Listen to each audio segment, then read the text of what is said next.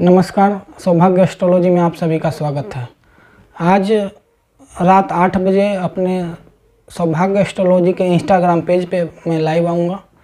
तो जो भी हमारे व्यूअर्स हैं, जिन्होंने मेरे सौभाग्य एस्ट्रोलॉजी इंस्टाग्राम पेज को फॉलो किया हुआ है तो उन्हें नोटिफिकेशन मिल जाएगा। जो हमसे जुड़ना चाहते हैं तो इस पेज को फॉलो कर लें।